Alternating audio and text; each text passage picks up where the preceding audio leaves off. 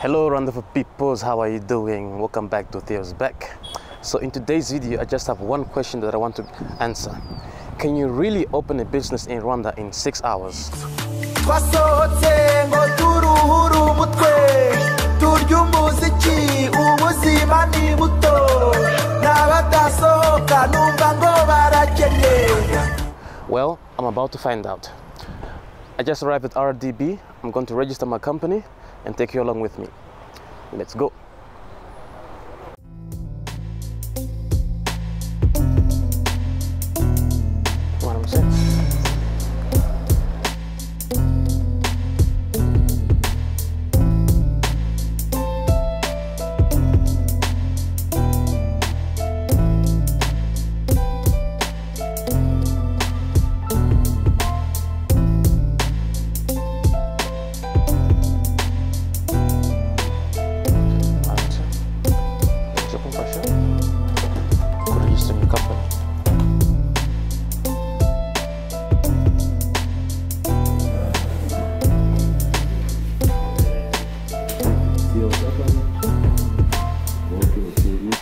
All right, it's about 25 minutes later, and I just uh, registered my company.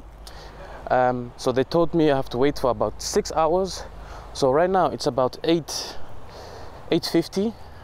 So right around three o'clock, um, we should be done, and I'll be hearing from them whether it's approved or I should go back for uh, a correction or something like that.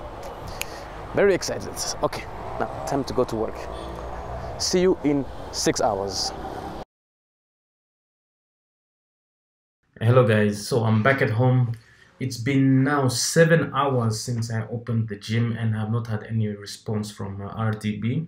I don't have a TIN number. So yeah, I'm uh, just keep uh, waiting and I'm uh, update you as soon as I get it. Okay guys, so it's been now nine hours since I registered my company and about uh, one hour and 30 minutes ago, so 30 minutes after my last video, I got an email from RDB saying that um, my, let me see, your application for domestic company has been sent to register for approval. So to me, it sounds like someone forgot to send like the my request through because they just got they just received my application apparently. I, I don't get it. But anyhow, an hour ago, so an hour after my last video, I, I was I got an email saying that my approval, uh, your application for domestic company has been approved by registrar. TIN registration is in progress. Good news. So I'm say my there. My uh, company registration is been approved. Just waiting on the TIN number then to make it completely official. All right. Stay tuned. I'm gonna let you know when that happens. So I just got an email saying that my registration has been approved fully and I've now received a TIN number. It's about now 24 hours later since I applied. So yeah, I'm now open for business. Okay, let me just give you a quick recap. I started this video with the question Can you really open a business in Rwanda in six hours? Well, after doing it myself, the final verdict is no.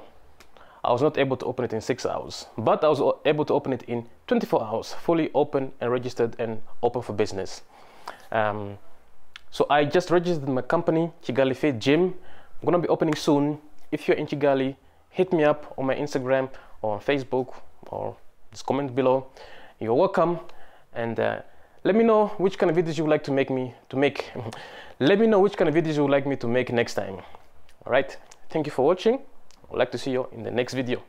Or see you at the gym.